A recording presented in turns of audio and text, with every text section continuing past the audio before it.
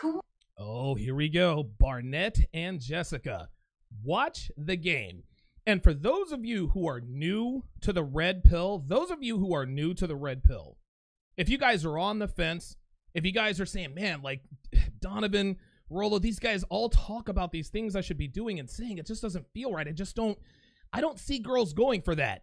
You need to watch the next five minutes of the show. Cool. Yeah. What position? Like, what's my favorite position? Did you hear that? I used to play baseball. What position? What favorite position? There's the jerk boy. There's the charisma. And look at Jessica, shit eating grin. Listen. Is that what you're asking? Just kidding. I was a pitcher. That was amazing. I love that. That was amazing. I love that. Right out of the gate, he goes to the sexual innuendo. So, what position did you play? What? What position? Right? They've been talking to each other for 34 seconds. Immediately, he goes to the sex joke, and what does she do? She giggles like a little schoolgirl. Let's watch that again. Uh, what position? Like, what's my favorite position? Listen. Is Listen. that what you're asking? Just kidding. I was a pitcher. That was amazing. I love that. That was amazing. I love that. Right? Guys, if you have the confidence, go for the kill. Well, I don't want to br- I don't want to bring anything up sexually cuz I got to get to know her. You ain't to get to know her if you don't bring it up sexually. And trust me, if she's into you, she'll eat that shit up. She has no idea what Barnett looks like. But the dude is calm, he's cool, he's collected, he's confident. She has no idea he's a 6'4 Chad.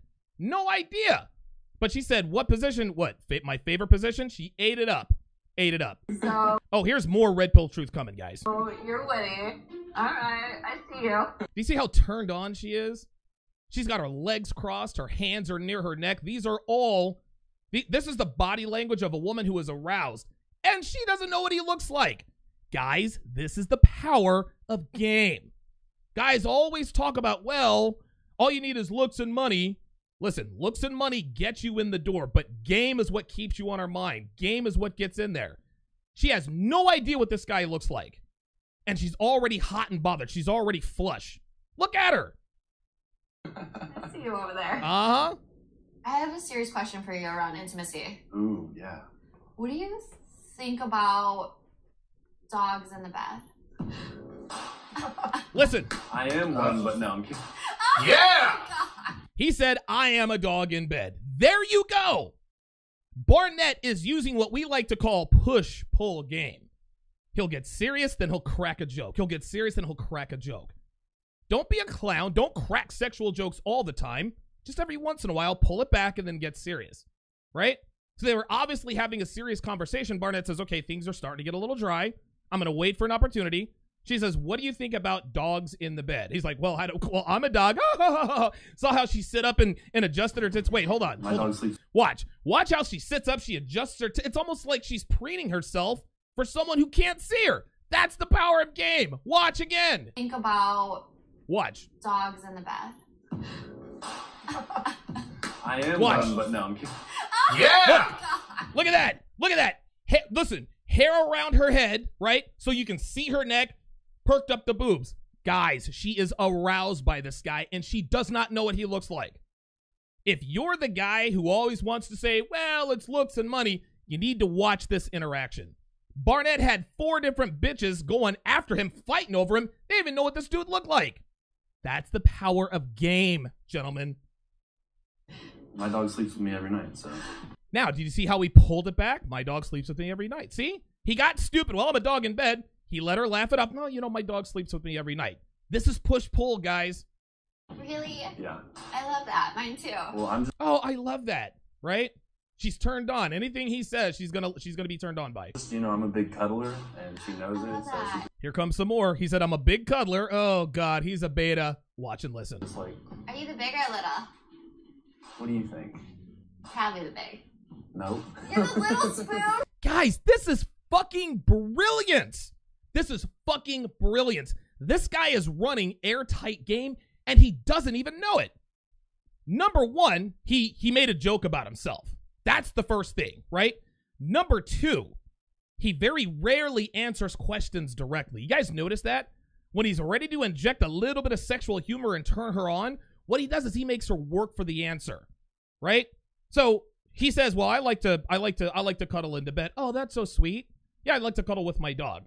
And so she says, "Are you the big spoon or the little spoon?" Most of us in here be like, "Well, I'm the big spoon." That's not going to elicit a reaction. But you can't say I'm the little spoon either because she'll be like, "What? No, he made her work for the answer." Well, what do you think? Of course she's going to say he's the big spoon. And by the way, by the way, the fact that she said big spoon means that she's already attracted to him. She's not giving him that little spoon. Guess what? He flipped it around. No, I'm actually the little spoon. Ha ha ha ha ha ha.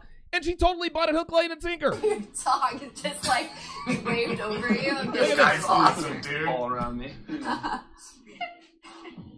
Look at this. Look at this, guys. Look at this woman. She's relaxed. She's having fun. She's showing teeth. She's turned on. This is how you escalate with women sexually, gentlemen. This is how it's done.